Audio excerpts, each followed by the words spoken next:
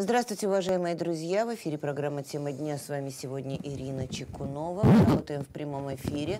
Нам можно звонить по телефону 300-190, задавать свои вопросы. А сейчас представляю экспертов нашей сегодняшней программы. Итак, сегодня у меня в гостях а, Сергей Борисович Щукин, начальник штаба юнармии Калининского района, руководитель Центра военно-патриотического воспитания администрации Калининского района. Сереж, добрый день. Добрый. И Евгений Николаевич Калекин, председатель Тверского отделения Всероссийской общественной организации «Боевое братство», начальник штаба регионального отделения Юнармия Тверской области. Женя, здравствуйте. здравствуйте, здравствуйте. А, непростое время мы с вами сегодня собрались, но, к сожалению, жизнь диктует свои условия, свои правила игры. Я знаю, что было очень много планов по э, занятиям с ребятами, по подготовке к 75-летию Победы. Э, буквально расписано расписан каждый По день. Часам. И э, все поменялось, да? Э, вы перешли совершенно на другой режим работы, но я так поняла, что это не значит, что воспитанием детей вы перестали заниматься. Да, хотелось бы сказать об этом э, поподробнее, так как вопрос в том, что данная ситуация наложила отпечаток на ритм жизни не только э, детей, но также и взрослых. Э, самоизоляция, э, карантин, как сейчас все это привычно называем пандемией коронавируса, э, говорит о том, что необходимость меньше находиться на улице диктуется условиями того, что увеличивается количество смертельных случаев, а также зараж... Э, выявления зараженных людей. Мы говорим по всей России сейчас. Да, по всей России. Вопрос э, в том, что многие люди до сих пор еще не понимают, и мне кажется, это тяжело, и мы стараемся довести через средства массовой информации до людей, что это не шутки. А, так как э, в первую очередь сначала думали, что это люди старшего возраста, да, это наши бабушки, дедушки, да, а сейчас уже речь идет о молодых людях, о детях, и лицах до 40 лет. А, вопрос в том, что многие думают о том, что это руководство страны а, дало такой шанс, как говорится, каникулы какие-то. Нет, это совершенно а, другое. Можно сказать о том, что данная ситуация складывается следующим образом. Все дети ушли на удаленное обучение. Да, в школах сказано, никого нет, все закрыто. Совершенно верно. Многие учителя сейчас перешли на обучение по скайпу, по телеграмму, в WhatsApp переписке. А, задания даются на дом. А, дети сейчас, как говорится, привязаны, не выходят из дома, и поэтому мы говорим о том, что нужно заниматься ими не только, как говорится, уроками, да, системы Министерства образования, но также и продолжать э, патриотическое воспитание, спортивное воспитание детей. Да? Спортивное это тоже на дистанционно. Это, это дистанция, это даже по тому же самому интернету, да, какие-то программы. Совершенно да? верно. Вот сейчас э, одна из программ, которая э, по линии юнармии, это подготовка ГТО то есть отжимание от пола на количество раз э, с записью видео и выкладывание этого в интернет. То есть, э, Жень, я так поняла, что подготовка ГТО – это то, что можно сделать, не выходя из дома. Совершенно верно. Подтягивание на определенном, как говорится, турнике самодельном, отжимание от пола, приседания, выпады а, – ну, если найдутся какие-то утяжеляющие предметы, как ну, раньше ну, это наверное, было, да. у многих подростков есть э, гантели, да, как Эспандеры, раньше каждого, да, наверное, совершенно да. верно, да. Все, всем этим стоит заниматься. Ну, у многих, конечно, дома есть беговые дорожки, эллипсы. Этим надо заниматься, потому что э, сейчас человек, находясь дома, э, он, э, тем более во время весны, не получает ни витаминов, и, находясь без движения, он, можно сказать, деградирует. А мы сейчас говорим о том, и с, с целью нашей передачи, что мы собрались, в первую очередь э, обезопасить э, себя и взрослых. Так как э, дети – это наше будущее, и ребята постоянно находятся в соцсетях и в интернете, они прекрасно понимают ситуацию, которая складывается. И очень мало я вижу, честно сказать, детей на улице. Это хорошо, это большой плюс, потому что они понимают, как это опасно во время эпидемии. Но я хочу сказать, что если мало детей на улице, это же много зависит от родителей в том числе. И да? от родителей Чтобы каким-то образом верно. контролировать ребенка. Потому что он может находиться дома, он сидит в интернете, но в интернете бывает разное, к сожалению. И нужно ограждать самого ребенка от этого интернета, от некоторых некоторых сайтов. Совершенно верно. И вот здесь как раз вопрос в том, что э, дети больше разбираются именно вот э, в интернете, они быстрее осваивают различные программы. А, и мы говорим о чем? Что наши дети сейчас являются вестниками победы над коронавирусом. Почему? Потому что они должны пропагандировать всеми средствами, которые у них есть для лиц старшего поколения, чтобы они тоже не уходили. Кстати, а делается такое? Есть какие-то специальные Соверш... ролики а, против коронавируса, вернее, как себя вести и прочее, что дети могут посмотреть, чтобы им чаще попадало на глаза? Да, вот вы как смотрите в воду, вот Сергей вот как раз... пока я не выкладывал угу. еще роликов, но уже была сделана мной полностью подготовлена программа, выложена статья с определенными э, наработками в этом отношении. Это было выложено во всех э, группах в социальных сетях. Это и Одноклассники, и Facebook, и Контакт. Это во всех группах, которые веду я, и э, в тех группах, которые дружат со мной, с моими группами. Э, довольно большое распространение, потому что на данный момент, э, когда вот мы начинали и создавали свои группы, то они были небольшими, а сейчас уже многие из наших групп насчитывают по 5-6 до 10 тысяч. Тысяч даже, да? И это не обязательно э, с, с, э, сами ребята, которые входят э, в юноармейское нет, движение, конечно, да? Нет, нет, они распространяют ведь по своим друзьям. Конечно. Да? И, и чем больше будет охват, да? Предупреждения какие в основном, вот основные предупреждения детям ваши? Это, во-первых, э, правильность поведения – правильность поведения на улице, даже если э, по мере необходимости ты туда попал. Именно подчеркиваем по мере необходимости. необходимости. Хотя основное у нас, да, основное правило Конечно, сиди дома. Да, находиться больше сейчас нужно в домашних именно условиях. Вот. Но если даже по мере необходимости ты попал все-таки на улицу, то Существуют определенные правила поведения, существуют определенные медицинские правила, существуют определенные законы поведения на улице в этот период. Вот это я вот уже выкладывал.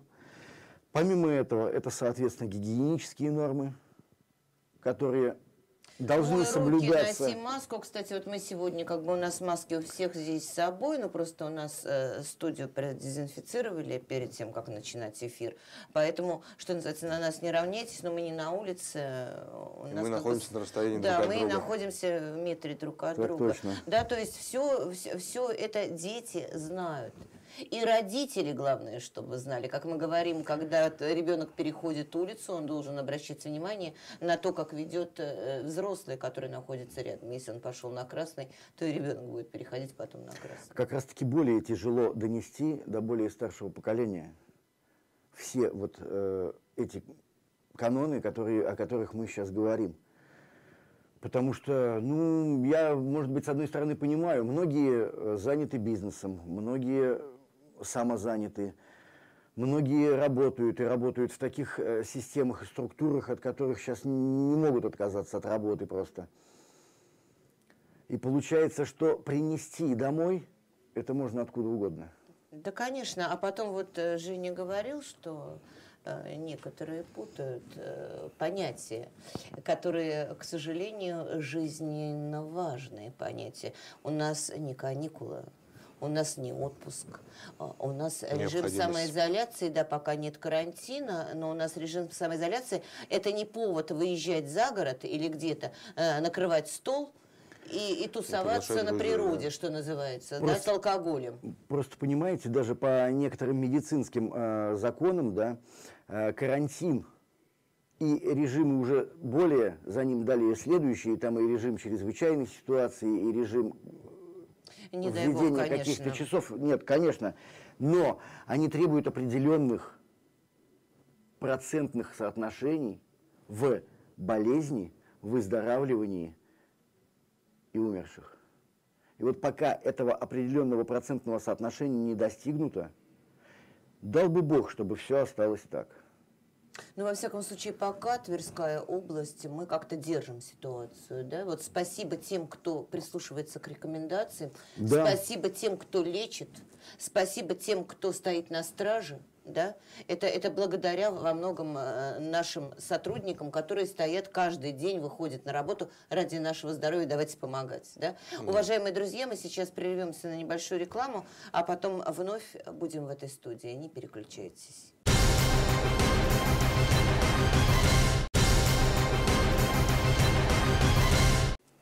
Мы вновь в студии программы «Тема дня». Я напоминаю, что сегодня с вами Ирина Чекунова. В гостях у меня начальник штаба юной армии Калининского района Сергей Щукин и председатель Тверского отделения Всероссийской общественной организации «Боевое братство», начальник штаба регионального отделения юной армии Тверской области Евгений Калюкин.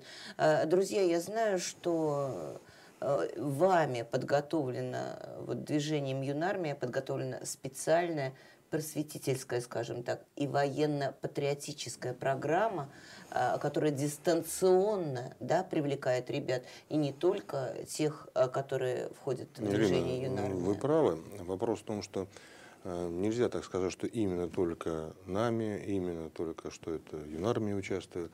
Здесь подключаются все, Министерство образования, Комитет по делам молодежи. Э, Мы, прежде чем что-либо делать, обязательно все дело согласуем. А у нас сейчас, да, вы сказали, следующее, ну, по поводу музея. Сергей побольше расскажет. Я просто говорю в общем о программе, которая была. А Программа для развития юнармейского движения, она была разработана еще в самом начале, только когда движение зарождалось.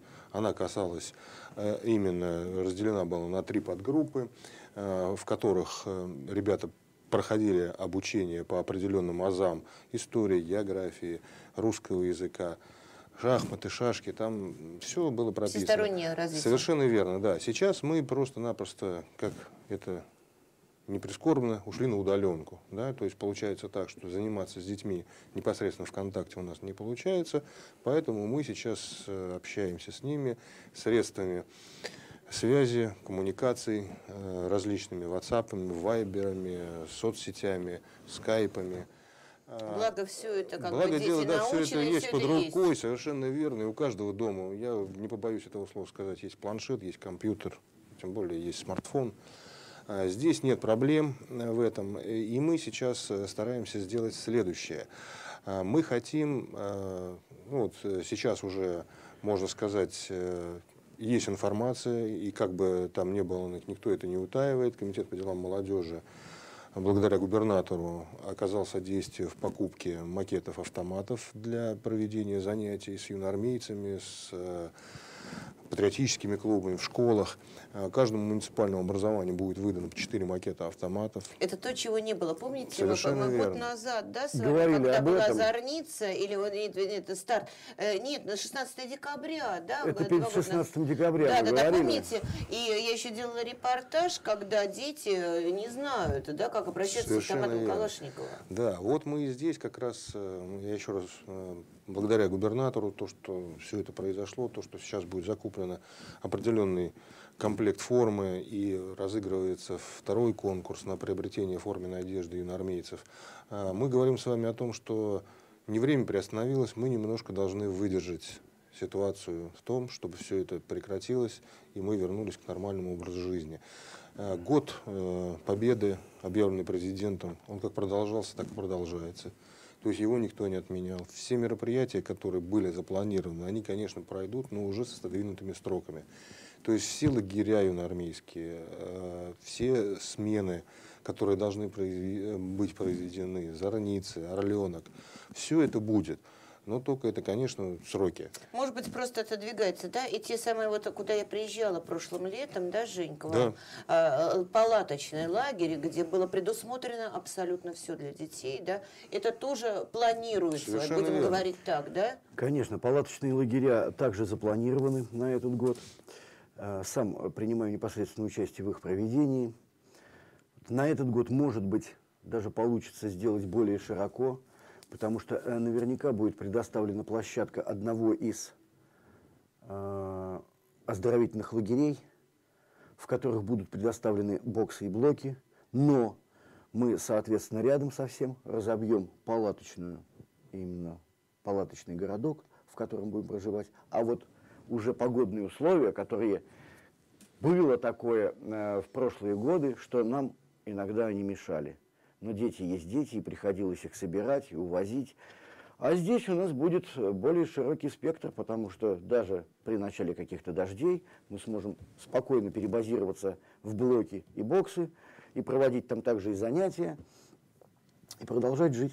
Слушайте, уважаемые друзья, как-то вот как вот как не верилось, да, как в фантастическом фильме. То, о чем мы говорили раньше, как само собой разумеющееся, да, сейчас мы говорим, э, ну, э, даст Бог, что такое будет, что мы это все вместе переживем. И на самом деле э, планы эти сбудутся, потому что лагеря уже дистанционно-то не провести, да? Ну, А это- детям все равно нужно отдохнуть. В это надо верить. Почему? Потому что человек без веры – это не человек уже, да? Это уже получается, как говорится, присмыкающий какой-то. А Здесь вопрос в том, что вот именно нами сейчас мы стараемся привлечь больше наших сподвижников и ребят, которые готовы принять участие в разработке различных программ. Э, Я знаю, например, Виктор Васильев сейчас дистанционно проводит уроки по самбо. Э, Даже, да- да- да, даже таким да, бо- даже- боевым искусством. да, даже так. Э, Потому что я вижу в соцсетях все это дело. Да. Дальше ну, вот, моя дочь, например, занимается гимнастикой на дому. Получается так, вот тоже, да, этими танцами. Спасибо тренерам, спасибо преподавателям, что независимо от того, что как говорится, раньше это осуществлялось на платной основе, сейчас это получается бесплатно. Всё это бесплатно, Да, да? люди идут на контакт и видят, что всем, как говорится, сейчас э, находиться, можно сказать, на самоизоляции тяжело, и поэтому каким-то образом нужно а, отвлекать детей именно от тех э, соцсетей, тех сайтов, на которых им не нужно И находиться. там же столько много негатива. Вот как раз хотелось бы вернуться к нашему онлайн-проекту. То есть э, сейчас э, Тверское областное отделение Всероссийской общественной организации «Боевое братство» и э, Всероссийская детско-юношеская военно-патриотическая организация «Юнармия» совместно и при поддержке Комитета по делам молодежи, областного молодежного центра, нами была разработана эта программа, которую они помогают нам осуществить.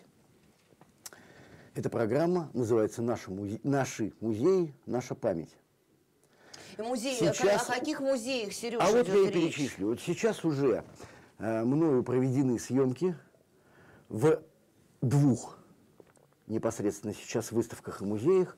Первый – это четыре эпохи воинской славы Союза десантников Союз России. десантников России, о, о котором, об этом музее мы неоднократно говорили Вот.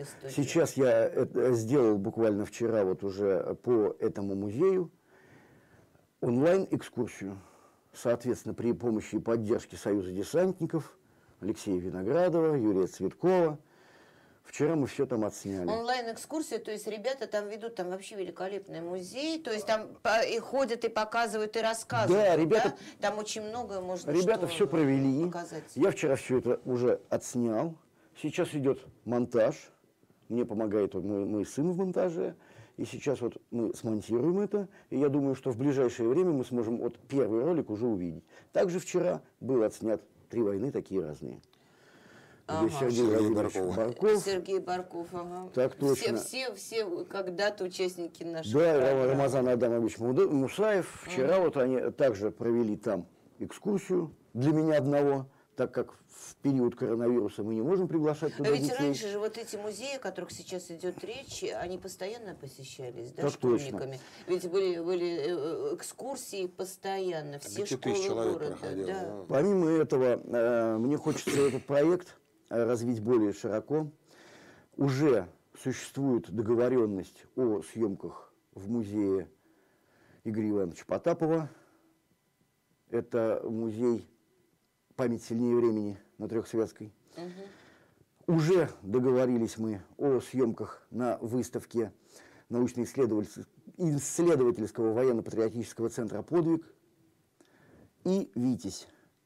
То есть Уже непосредственно там Олег- же тоже ребята, которые ведут э, Поисковики. э, скоро, Поисковики, скоро да, начнется, да, да, я да, да, да. надеюсь, да, вахта. То есть уже и вот Александр Михайлович Иванов, Сергей Юдин, они нас вот уже вот-вот ожидают также на съемку, также отснимем, точно так же, и это пойдет в нашей соцсети. Вот хотелось бы, может, вас попросить помочь нам в этом в распространении нашей информации. Ну, Сергей Борисович забыл еще нашего Олега Николаевича Толстых, который Олег тоже Николаевич, будет да. участвовать Да, в своим это выставка по проекте. То Афганистану. есть все общественные, так военно-патриотические точно. организации, Помимо которые этого- всегда здесь все вместе, да? Помимо этого, э, буквально вчера, когда вот это все снимал, посетила очень хорошая идея. Я вчера вспомнил о том, что у нас в музеях и школьных, и в музеях города, и в музеях Калининского района, прекрас... о, в школах прекрасные музеи. Это и музей 21-й танковой армии, это музей Конева, это музей 8-й танковой армии и так далее. То есть и там можно будет также все это продолжать. И вот это может стать, в принципе, большим заделом для того, чтобы... Вот это как раз и есть сохранение исторической памяти. И вот это, я думаю, что э, как раз и будет попадать под э, те пункты изменения Конституции, которые вот сейчас грядут, да, о сохранении исторической памяти.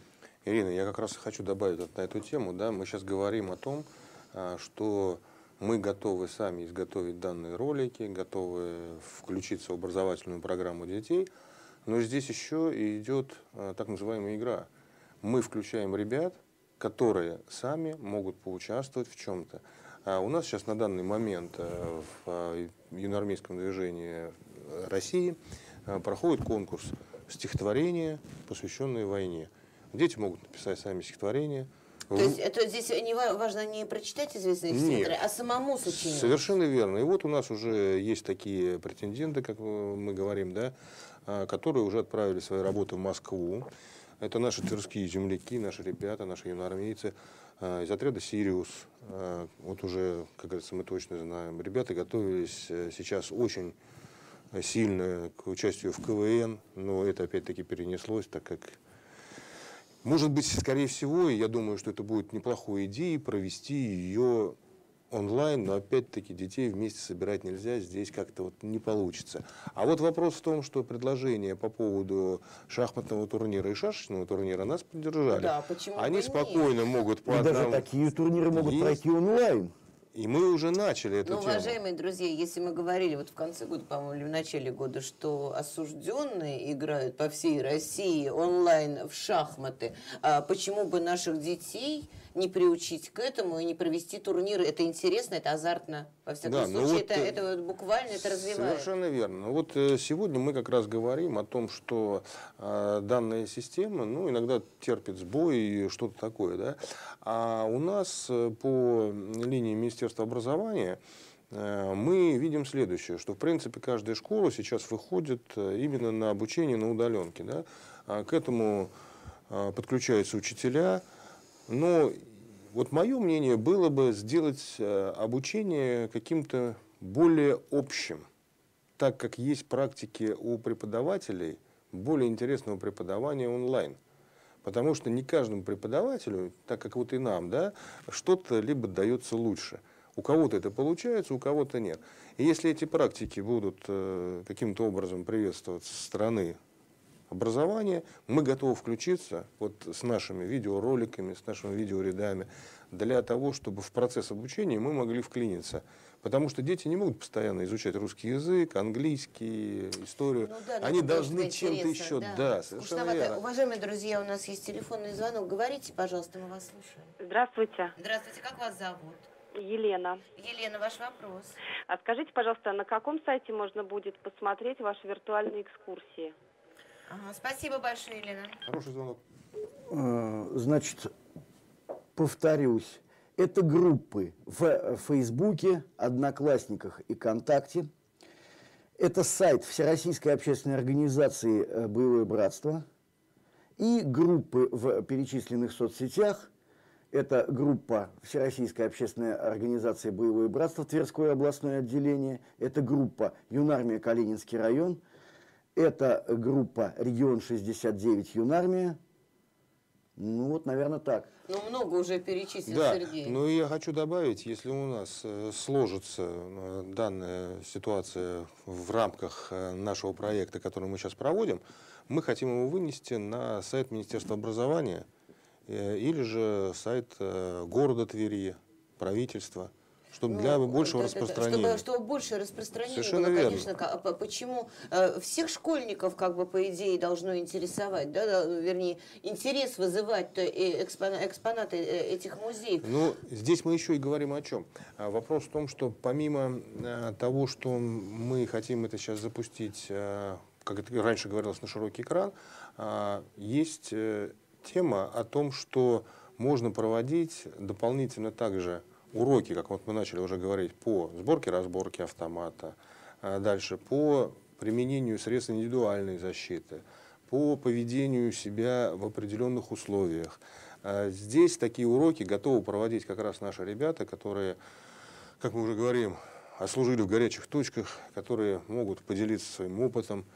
И я думаю, что ребятам это будет очень интересно. Я сразу вспоминаю ш- наш уроки НВП, да, э, которые р- э, Они с были у все нас. началось. Они это было крайне были. интересно. Конечно. И когда человек ведет, который знает, о чем говорит, и это же, это же, это же просто, и это необходимо людям сейчас, это безопасность, о которой мы говорим. При нынешнем развитии интернет-ресурсов, соответственно, мы- понимаем, что э, человек, который влез как бы посмотреть наши уроки, он в этот же момент не может находиться где-то на тех сайтах, о которых вы говорили, там, и совершать что-то... не стать жертвой преступников, тех же самых, которых сейчас, к сожалению, к сожалению, все больше. Ну, больше. сейчас, в наше, опять же, непростое время, э, на данном этапе, вот буквально вчера э, вышла большая передача о онлайн-мошенниках уже на коронавирусе, уже на этой Да, стезе, конечно, уже... найдется в Сейчас любой всем ситуации, тем более сейчас на горе человеческом всегда найдется э, какой-то негодяй, который э, будет наживаться. То, что вы вот говорили до этого, э, Евгений Николаевич просто сказал, э, живем надеждой. Да, конечно, вера, надежда. А что нам остается? Вот э, у меня постоянно раздаются звонки. Мы совсем недавно провели э, игру «Снежный десант». Да?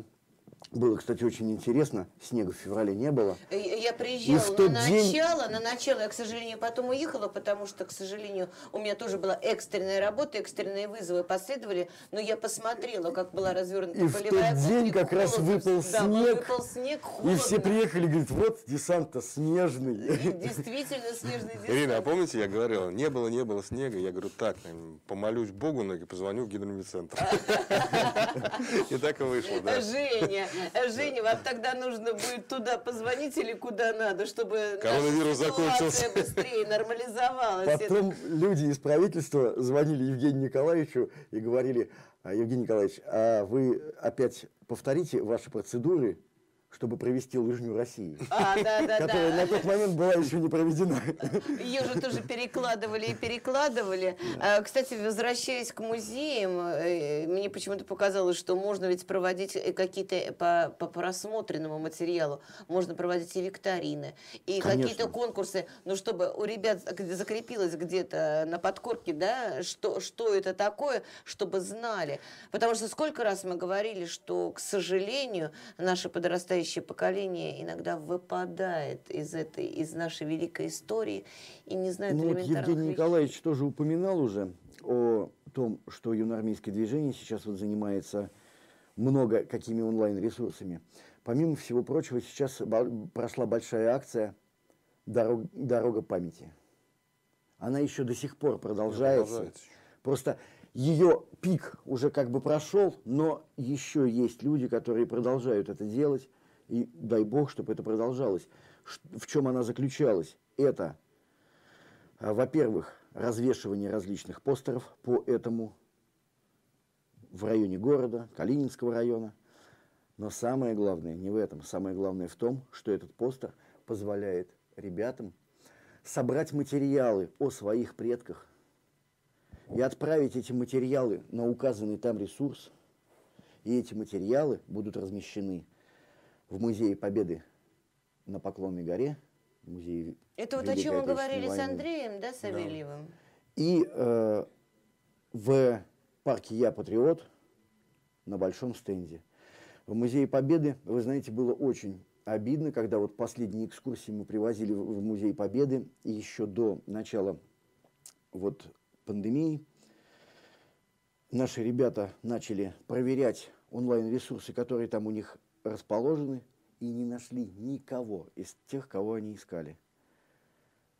Я сам поговорил А там почему потом такое? с заместителем э, музея. Он говорит, ну вы же не присылаете.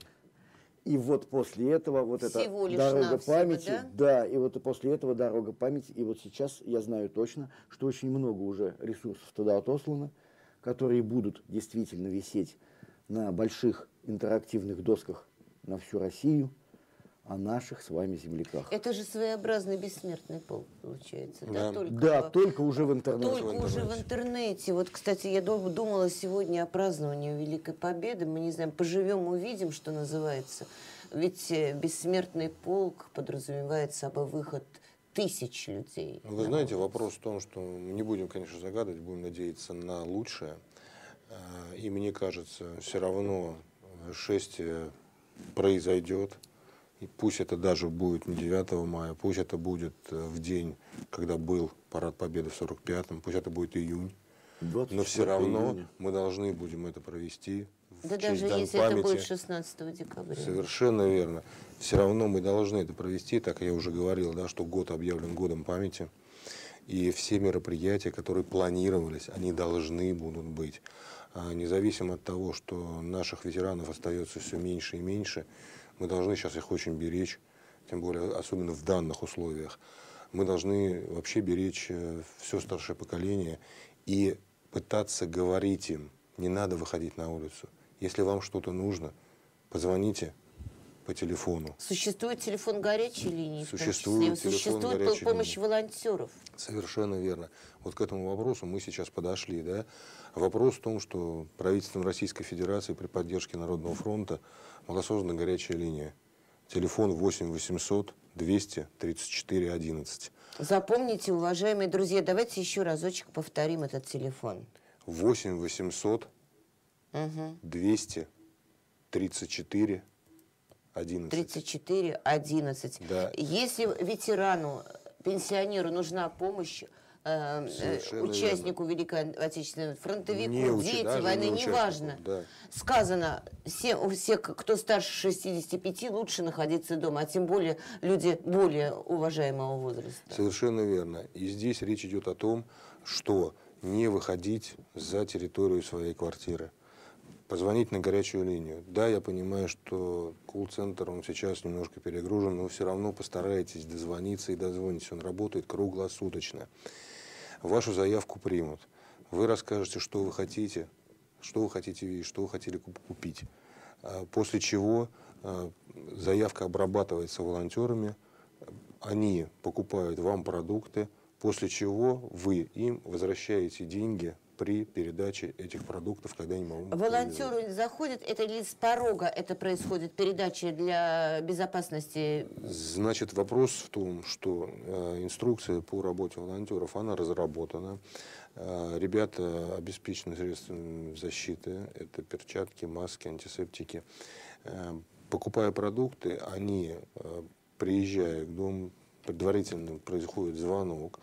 А Человек, зная, что к нему идут волонтеры, а так как мы сейчас с вами только что говорили по поводу мошенников Вот именно вот в интернете, очень опасно. я хочу предупредить следующее, что если к вам какая, э, поступает на линию какой-то звонок, не думайте, это могут быть мошенники.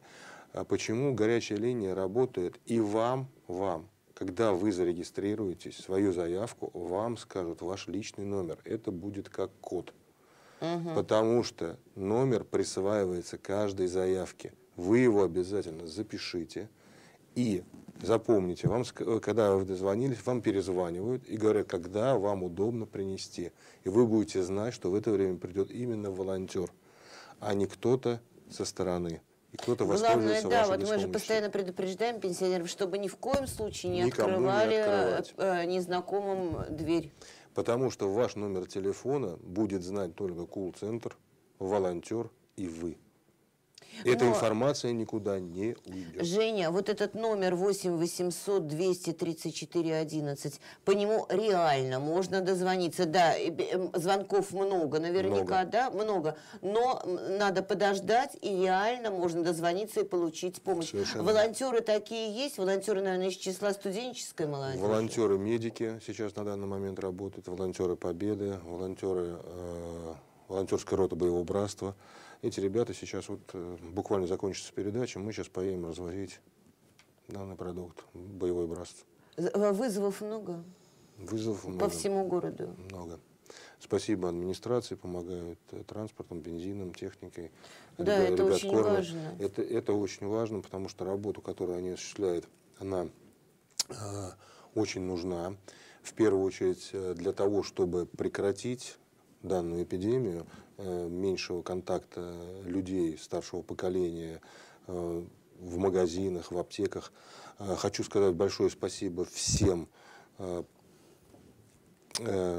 индивидуальным предпринимателям, всем руководителям продовольственных магазинов, небольших бутиков, дальше аптек, которые ведут правильную инструкцию по пользованию даже теми же аптеками. Нарисовали полосы, расстояние от э, э, посетителей должно быть не менее полуторах метров. То есть я сам вчера лично заходил в аптеку и видел красные полосы на полу аптеки, ну, вот возьмем на Коноплянникова, да.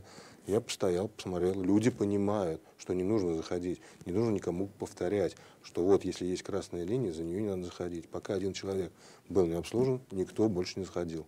Э, Маски э, пенсионерам сейчас нужны, ветеранам, куда приходят э, волонтеры. А каким-то образом будет помогать общественность выдаче этих масок? Ирина, знаете, вопрос в том, что маска, она работает, согласно медицинских терминов, в течение двух часов.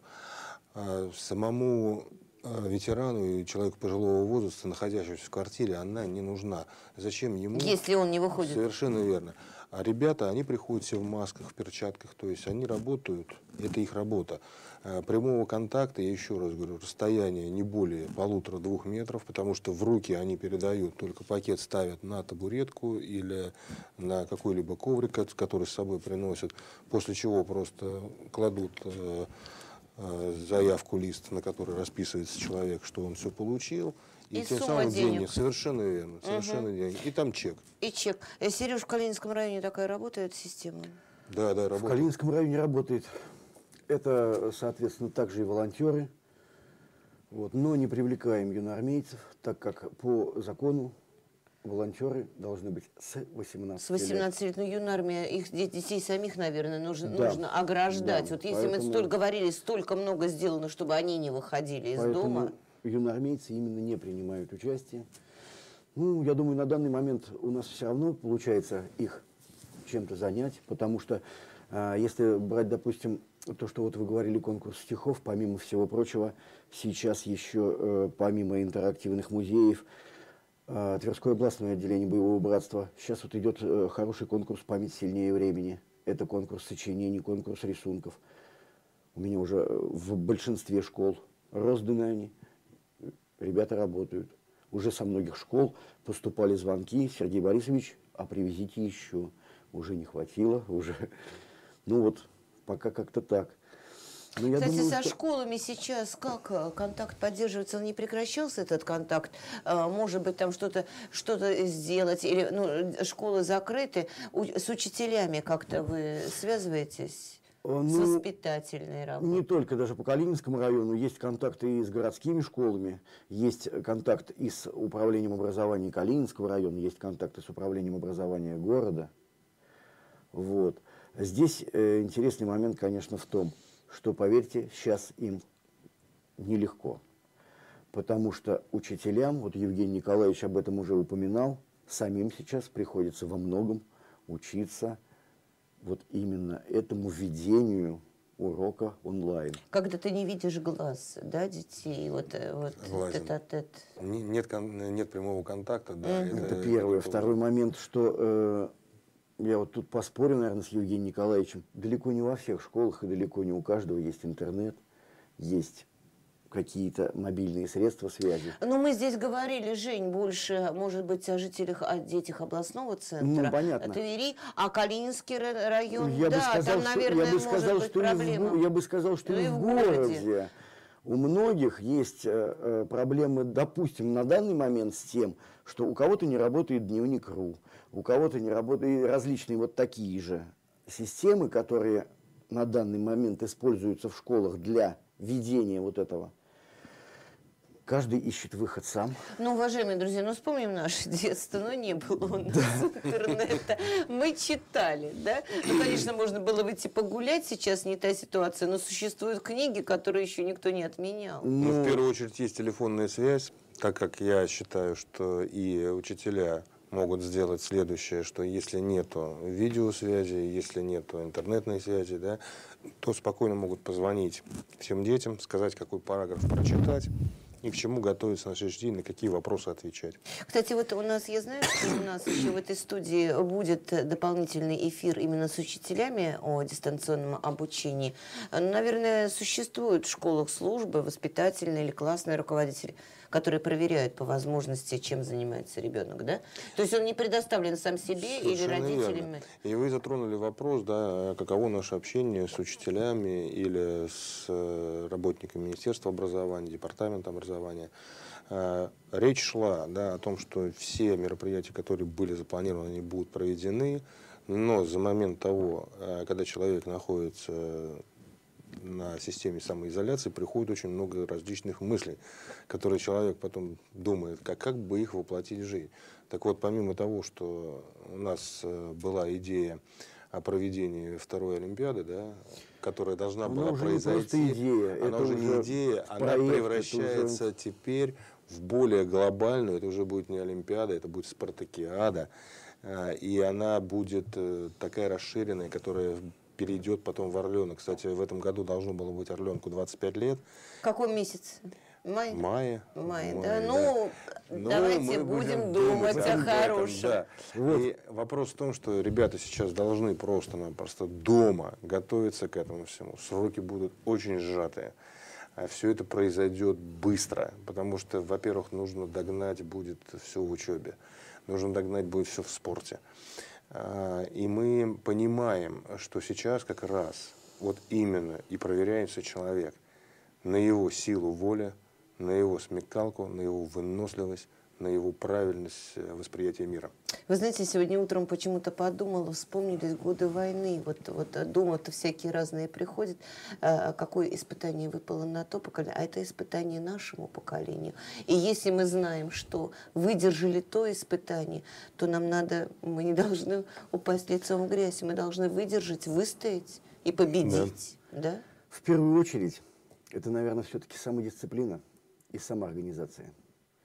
Вот только тогда человек сможет, даже сидя дома, даже нет у него дома родителей на данный момент, потому что мама может быть э, медработник, который на службе, папа может быть милиционер, который на службе, Да. полицейский. Но он сможет самоорганизоваться, этот ребенок, и провести занятия, провести онлайн, все сделать, подготовить, отослать свои домашние задания учителю. Вот это и есть самоорганизация, вот это и есть дисциплина. Или же подтянуться, да? э, Подтянуть себя в физической подготовке. Так точно. да? Приседать, И делать что даже, угодно. я бы сказал, для многих, э, кто имел небольшие там какие-то отставания по программе э, образования, да, там троечники там и так далее, они могут сейчас наоборот подтянуться. Подтянуться, конечно. В том э, смысле, что у них не будет прямого контакта с учителем, и нельзя будет сказать, вот этот учитель хороший, этот учитель плохой, это мне нравится, Всё это мне не нравится. тебя, Здесь будет да. все зависеть только от самого ребенка. Уважаемые друзья, у нас уже совсем э, мало осталось в эфире времени. Давайте несколько слов буквально о, о планах, которые наверняка сбудутся, э, подготовка к Великому Дню Победы. Вы знаете, э, я хочу сказать, что сейчас в ближайшее время мы э, думаем где-то дней через 10 э, провести урок по строевой подготовке. именно договориться с ребятами, которые смогут это дело показать на камеру, каким образом надо держать ногу, сколько времени, как должны двигаться руки, маршировка на месте, движение, начало движения строевым шагом, повороты, дальше повороты кругом, поворот направо, налево. А, На данный момент мы должны сейчас быть во всеоружии, что вот вдруг завтра все будет хорошо, и завтра у нас парад. И сразу, и нам сразу, скажут в строй, сразу, и да? нам скажут в бой. Сразу победа. Совершенно верно. Но мы будем надеяться на лучшее, еще раз говорю, все эти уроки будут записаны, все эти уроки будут преподаваться в соцсетях. А Мы говорим сейчас о том, чтобы родители больше времени проводили на данный момент с детьми, чтобы дома играли в настольные игры, общались. Как раз есть такой сейчас вариант, вот именно для общения в семье. Как вот сейчас многие поговорки, анекдоты ходят, да? А оказывается, неплохие люди у нас в семье. Да, а когда... Есть о чем поговорить. Есть всегда есть о чем поговорить. А, Сереж, а, ваши рекомендации жителям региона? Надежда, вера, все будет хорошо. А те мероприятия, которые у нас были запланированы, я думаю, мы все равно их проведем. Это вот и спартакиада региональная, которая, кстати, э, в этом году пройдет уже по договоренности в новом открытом центре в Брусилово. Уже с директором есть договоренность, уже все посмотрены там помещения, все уже там было подготовлено, но вот не получилось. Ну, я думаю, это получится. Пусть все готовятся. Уважаемые друзья, телефонный звонок у нас к концу эфира. Говорите, пожалуйста. Здравствуйте. Алло. Здравствуйте, как вас зовут? Меня зовут Юрий. Юрий, ваш вопрос. А, как-то говорить-то я не умею. Э, Ну, ну вы быстрее, мы, э, у нас эфир заканчивается. Короче, в Чехословакии памятник Коневу. Ну, сняли и это самое. На этот Почему бы на этот не сделать так, чтобы он у нас был? Да, я услышал этот вопрос, потому что время заканчивается. Мы написали письмо на имя губернатора от общественных организаций, э, чтобы привести его сюда, к нам, в город Тверь, так как Конев начинал свою деятельность здесь у нас, и поставить его на, площади, на Комсомольской площади, э, возле улицы Конева. Я думаю, что вот этим вот позитивным моментом и пожеланием здоровья мы заканчиваем нашу программу. Спасибо огромное Спасибо. Спасибо, за свидания. участие. И пусть все наши планы сбудутся. Спасибо, до Всего доброго, до свидания.